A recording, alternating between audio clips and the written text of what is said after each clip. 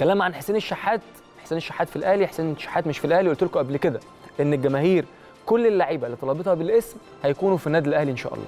كل اللعيبة اللي طلبتها بالاسم باستثناء مثلا لعيب.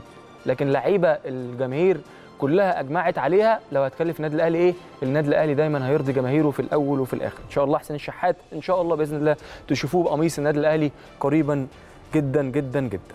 يعني النادي الأهلي بيبذل قصارى جهد وإن شاء الله يكون في النادي الأهلي. قلت لحضراتكم إن في 30 دقيقة للتسديد على المرمى خلاص.